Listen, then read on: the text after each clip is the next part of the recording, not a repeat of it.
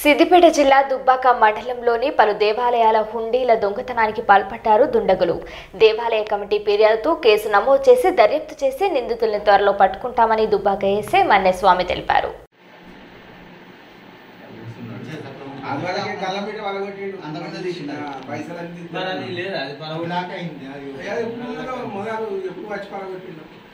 అంటే అది వీడియో లేదు. ఉంటది. చూస్తే ఎప్పుడు మరి ఏం చేసిన అన్ని తెలుస్తాయి. ఎవడెవడు వచ్చిండు ఎవడెవడు అని కూడా తెలుస్తాయి. చెప్పలేం బ్లాక్ చేసిన అలానే జూమ్ చేయరా అది? జెర్సీ బ్లాక్ చేసి సిస్టమ్ నే జూమ్ చేయాలి. సార్ ఎస్ఐ గారు ఇట్లా వచ్చారు అందరు వచ్చారు ఇగో ఈడ ఈడ ఈడ ఉన్నారు మీ మిత్రులు ఉన్నారు మాట్లాడు ఒకసారి.